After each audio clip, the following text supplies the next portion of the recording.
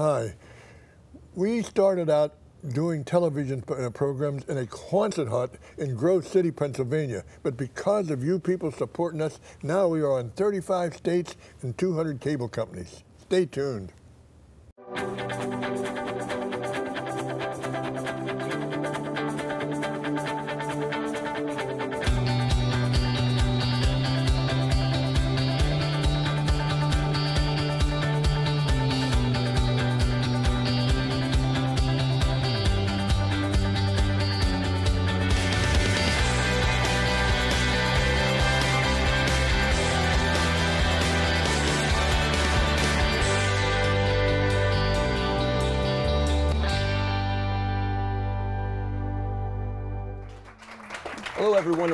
Crossing Paths Television. I'm Mark Wabazuski, today's co-host of the show, here with Don Reed Sr., Joyce Reed, and Ron Kosar. And today we're going to talk about the, the mission and the vision of Crossing Paths and why you might want to get behind this ministry. So, Don, why don't you go and tell us a little bit about the beginning, the origins of the ministry? You know, my wife just reminded me, that's true. She said, How did you start this ministry? I think I borrowed $10 and put it in the bank. I mean, nobody gave me a dime to start the ministry. I strictly started out by faith. I got a vision, Lord gave me a vision. And believe it or not, Mark, we did this up in Grove City in a Quonset hut. It was 100 degrees doing our TV shows in this hut up in Grove City, Pennsylvania. I forget the name of the company, okay? We had to have three suits that day because we did three or four shows. You, it was so hot.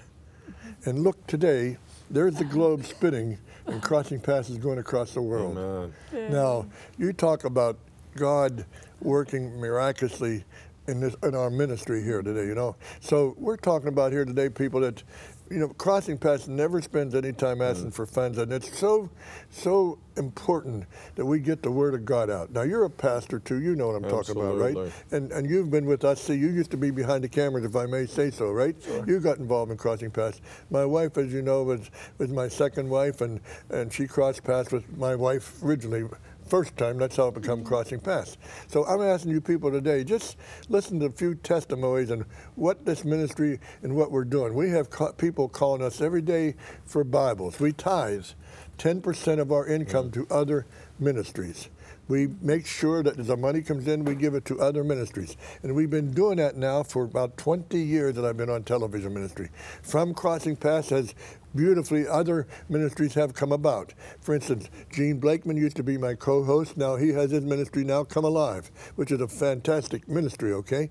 And Dr. Ernie, they're two together, so they have a ministry. We have Linda Weber, right? She mm-hmm. got her start through Crossing Paths Ministries. We have mm-hmm. Bible studies that have started. We have Bible studies at my house. So Crossing Paths has been on the move now since I've been saved 41 years ago. Now, Joyce, mm-hmm. maybe you can just go a little bit what people call in and what ministry does and so forth, okay? We get calls nonstop. It's uh, surprising almost the details that people see, like your little globe there. Uh, someone called or told us that they thought that was a crystal ball. Well, I wish it was. I wish it was a crystal ball that showed us what the future, uh, maybe even the past, but what's happening. We don't know what's happening. All we know is that Don's been blessed, I believe, because you're always blessing someone else. Yes. You know, what we get, we don't keep. And that's why we have crossing paths, Amen. because we cross paths with so many people. Uh, last I knew, it was 35 states for sure we're in, and who knows what else, where else. On the internet, you can see us www.crossingpaths.org. Click on all of our programs. These wonderful men that work the cameras and do all the work have put us available to everybody in the world, right? yeah. So that's what God's doing in our life. Rod? I- I know, I know for myself personally, when I started in the ministry, I've been saved for 41 years now. Been full-time ministry about 20 years now, 21 years full-time ministry. And one of my first mentors, when he sat down with me, I was in his office, it was about 8 o'clock in the evening. And he said, Ron, he said, as you continue to build God's kingdom, he said, I'll tell you one of the most important things that you're going to have to be able to do. And we're sitting in his room, and all of a sudden, click, the lights went out. I was like, what? Where'd you go? I couldn't even see him. He said, son, you could be a great preacher. You could know the Bible. He said, but if you can't pay your utilities, they're going to shut your utilities off. You can speak in tongues, you can sing, but if you can't pay the bills, they're going to close your church down. And um, so he taught me the importance of finances. And that's what I love about Crossing Paths. I've known Don a long time now, and I know he doesn't take a salary.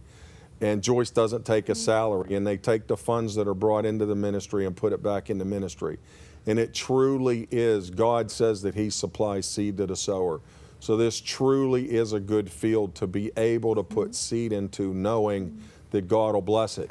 And I think your viewers need to know that. You have a very awesome ministry, you have a heart for the lost, and there's ministries today that just really don't have that. Um, the transparency that you do. And as people see how much you love the lost and you seek the lost, and, and let's just face it, you hardly never ask for money. This is just an exceptional thing that we're doing to let people know of the need so you could go out and reach more people. You and know- I respect you for that. Thank you, Ron. You know, one thing that, uh, that, and this I say honestly because many of pastors have gone through what I've been through. Now, you started a food ministry down there, right? And you have, I don't know, maybe hundreds of people come, right? And get free food, right? Yes, sir. And they donate nothing to your church, am I right? Then, you know, that's what we have to bite our tongue sometimes. We have Yep. our friends that come into our ministry eat our food and everything else and tell me that they're sending money somewhere else and sit there in front of me. But you know what? A pastor out there is the same way. He's he's, he's got to pay the bills and, and so forth. And sometimes we have to learn. I mean, that's a hard thing to learn to have. Hundred dollars in a bank account and, and five hundred dollars or thousand dollars worth of bills, Yeah. and your best friends are saying we're going to send a thousand dollars in my house to somebody else Mm-hmm. and I've led their family to the Lord. But that's just a little lesson out there to pastors. We have to go by faith. Now, Mark, you come in this ministry, right? You've Yeah. seen what we do. What's your opinion on it? Well, this ministry was started by God putting on your heart to do this and to reach people. So, mm-hmm. really, your background, well, you met Jesus and you were excited about it and you wanted to share testimonies. So that's what you did. You just started sharing testimonies. Mm-hmm. Uh, I'm, I'm here. I know what goes on. We don't do the best job of trying to compel people to give to the ministry and to donate to the ministry because that's not where our heart's at. Our heart's not, please give us money. Yeah. We really need your money. Now, the thing is, God has kept this ministry afloat, even though we lack on the ability to really compel people to give to the ministry because that's not what we're focusing on. We're really not the most skilled in that. You know, we can admit that, I think, humbly. but Don had the, the God has kept this ministry afloat. Is it so many times where it's like, oh, money's coming out. We're gonna run out of money. We're not gonna be, we're not gonna be able to keep going on. What happens every single time is God lays it on somebody's heart. Mm-hmm. You know what? I feel like I should give you five thousand dollars. I think he should give you twenty thousand dollars. I think I should give you hundred dollars. He puts it on people's heart to really keep Yeah. this ministry going. So even where we're lacking, mm-hmm. God's making up for that, and because he's, he's going out there and he's putting it on people's hearts uh, to give to this ministry because mm-hmm. it's so powerful that people understand what God's doing today. Amen. And I know it's changed my life. I came here. Uh, starting to learn how to shoot video because God, that's something God wanted me to do, and He brought me directly to Crossing Paths. And I remember standing behind those cameras, hearing these stories uh, while I'm in the Catholic Church, you know, and I had a good foundation, but I didn't know how involved God was in people's everyday lives. Yeah. So I'd hear these stories, and I was just like blown away because more and more of who God is, who Jesus was and is, was being revealed to me. And and if these people were having this relationship with Jesus in this way, then I can too. Because I mean, you guys use scripture. I mean, you're very, very biblically based. You're, you're preaching the word, and these testimonies are real. These are real people, local people with amazing stories. And uh, it just started to completely change the way that I viewed God. And I got hungry, and I started seeking Him more. And uh, it just hasn't stopped. It I hasn't used to see you behind that camera Yeah. when you first started years ago, okay? And you heard these testimonies, and you can you can confirm this, right? I saw tears coming down out of your eyes, Yeah. you know, because you had never seen or heard something like that with your background, right? Yeah, I mean, I would see people who, uh, like a girl who was uh, really just completely drug addict, get pregnant. And they say their kid's going to be bad, you know, going to be destroyed mentally and all this stuff. And then God's just able to completely restore that healthy choice, all these things, and like just miracles. And I was just like, and honestly, there was some stuff that was so beyond what I thought God was doing today that I was like, can that be real? Are these things, is God really doing these things? But I'm looking, like those tears look sincere. I know we're not paying these people to be on the show. They're coming on their own accord. Mm-hmm. And then a lot of times we'd go out to eat afterwards and I'd talk to them and I'm like, these people are either genuine or they're crazy because they really believe that this stuff is happening. And they weren't crazy. God really is doing the things that sure they were not crazy, huh? Yeah, maybe a little crazy. You said something there. This is very important out there. Just Yeah. yesterday, about uh, sending some money by a letter or uh, something you said there uh, on this uh, Feast of Tabernacles, okay, which we know is uh, uh, right now, okay. Of course, there'll be the show will be later on, okay.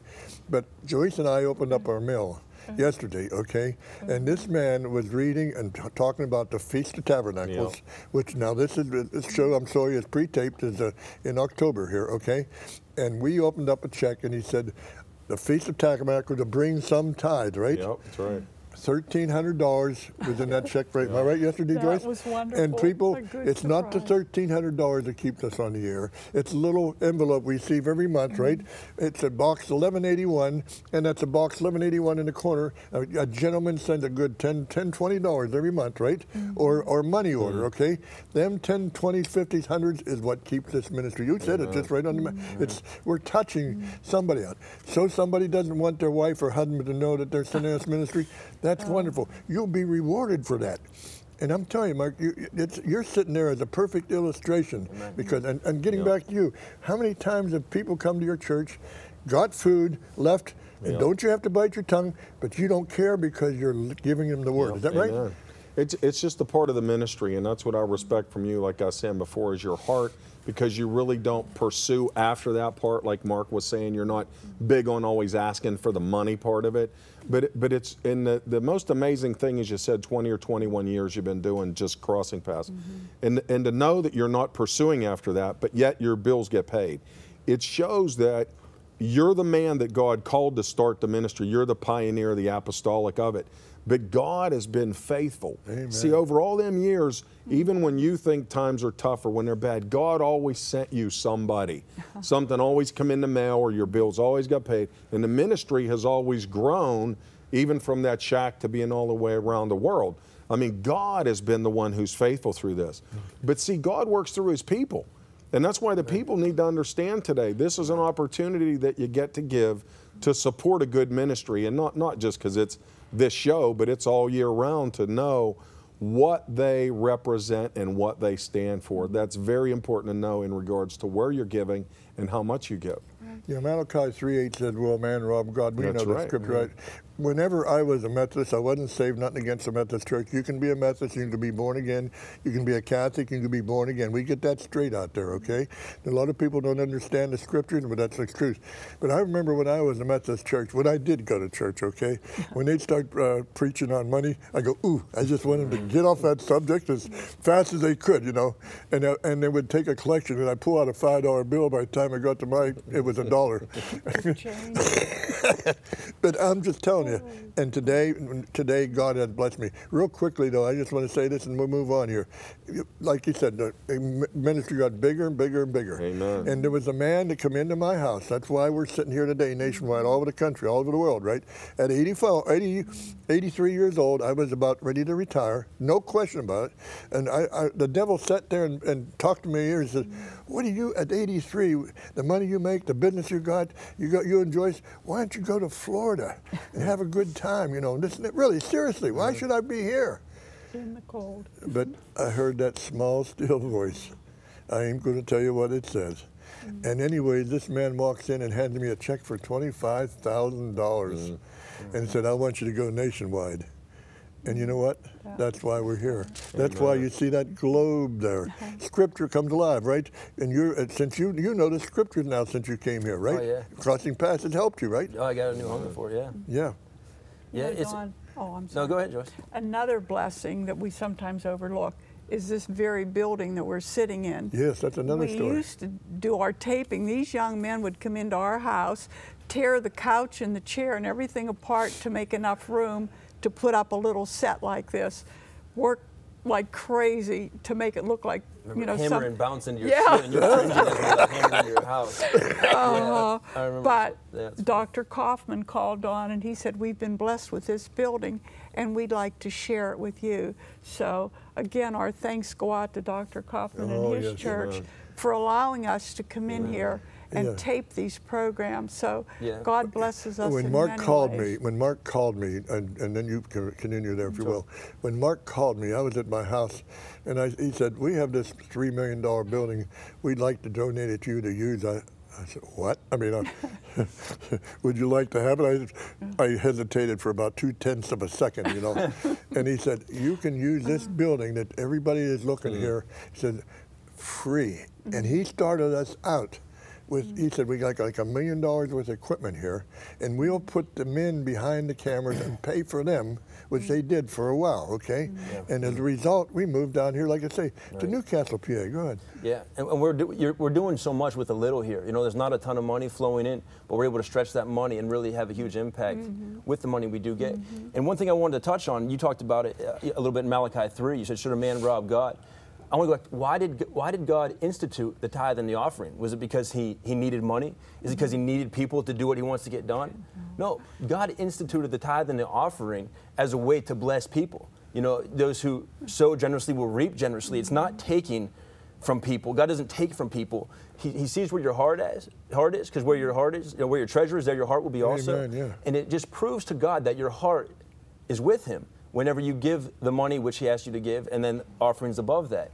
It's not to take from you. It's a way that actually He blesses into you. Yes. I mean, I don't know anybody who's given to the kingdom of God for an extended period of time and has not grown significantly in their in their finances. You know, they're- they always. I mean, who do you know that says, "Man, I'm I've been tithing now for 10 years and I'm just broke." No, it's like no. God opened up this opportunity. God opened up this opportunity because we are here to reach the lost.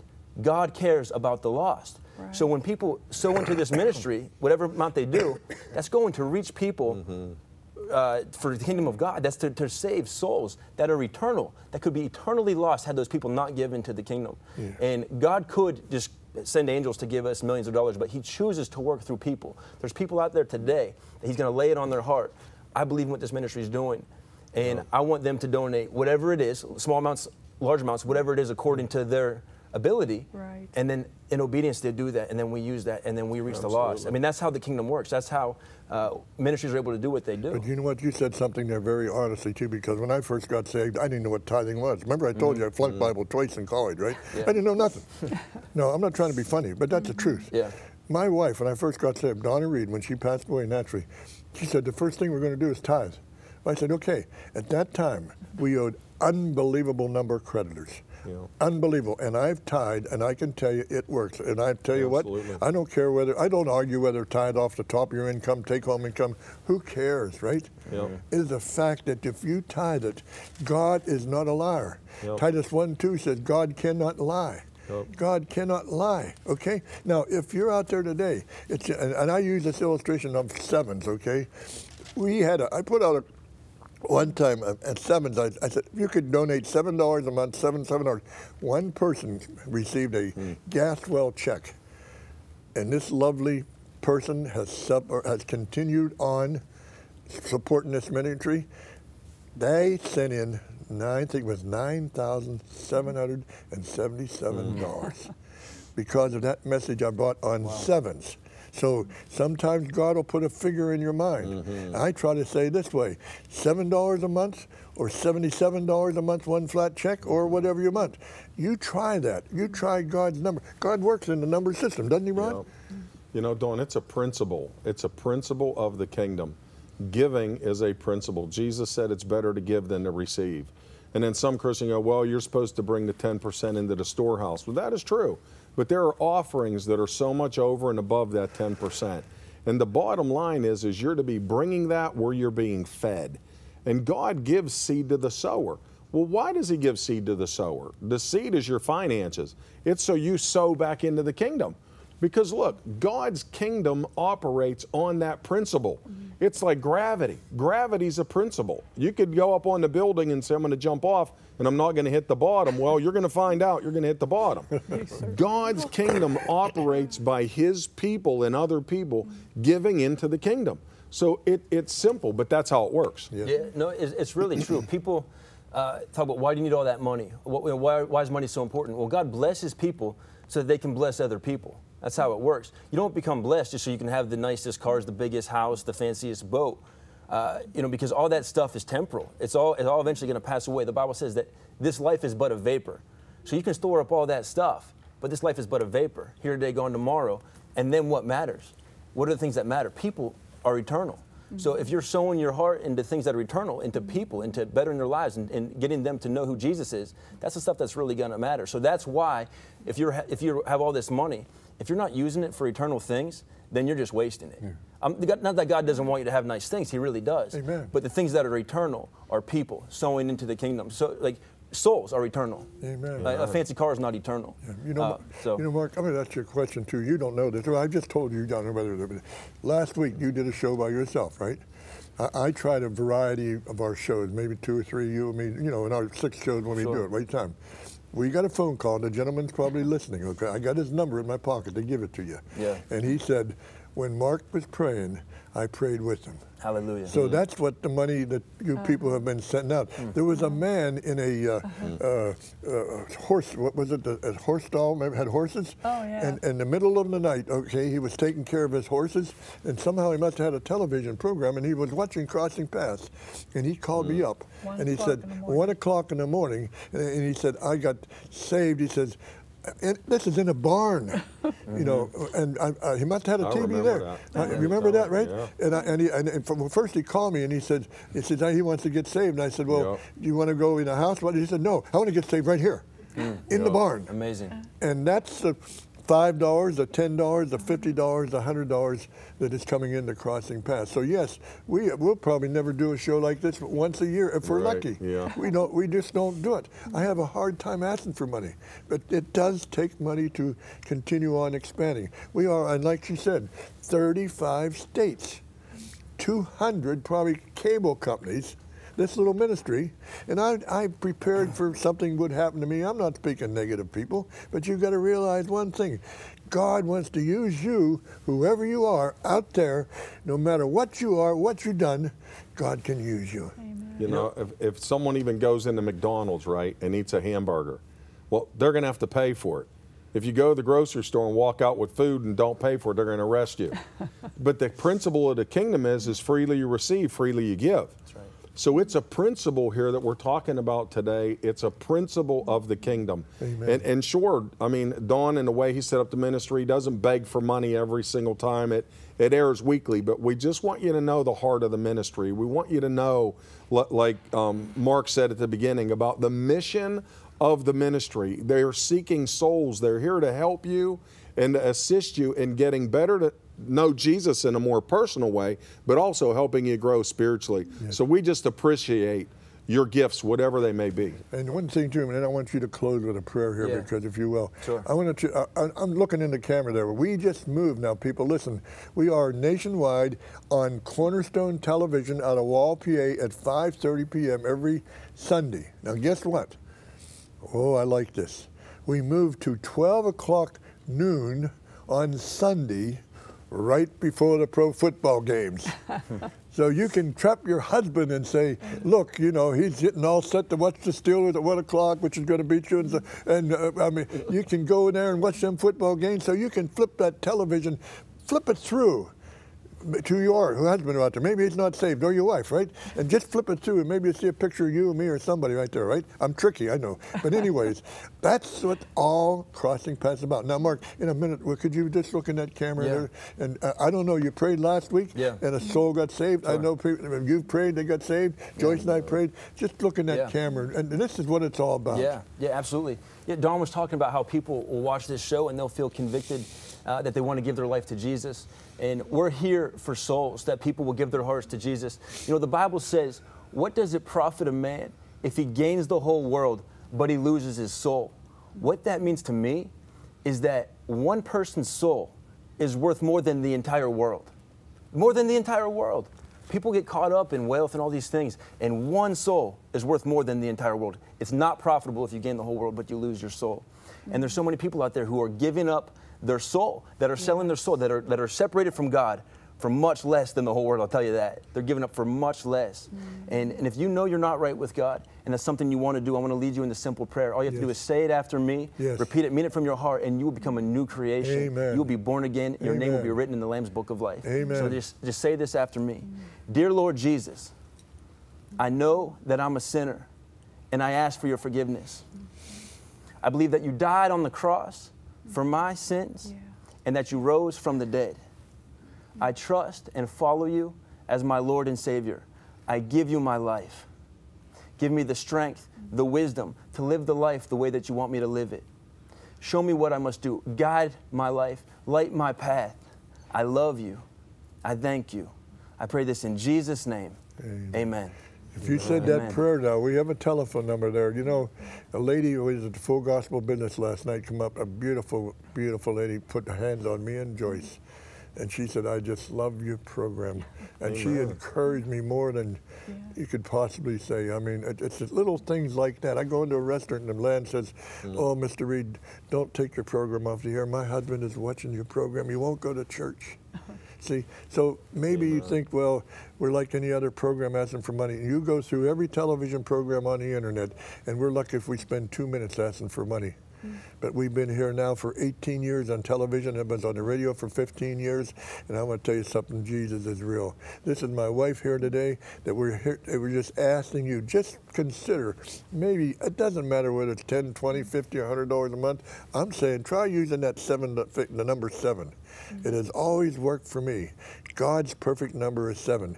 Send us seven dollars a month, seven seventy, seventy-seven dollars one check, or any multiples of that, and I'm telling you, God will bless you. Here's one thing I'm telling you: these gentlemen, they have upheld my arms like Moses when Moses was under stress.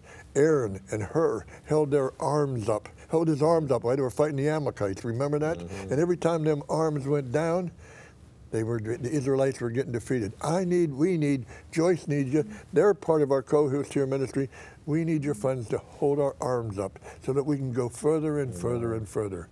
I want to thank you all, for all the audience for showing here today, for showing up and encouraging Joyce and me. For my pastor up the street that I go to church every once in a while to, he come out here today just to do a show. For everybody that's come out here to do shows today, just remember one thing. It's not Don.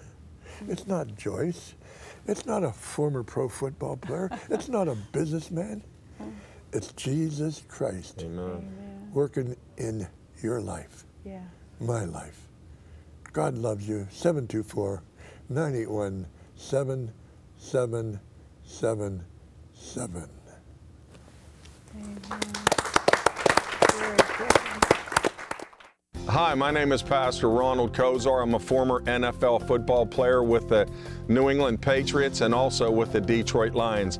But I struggled with going blind and being overweight.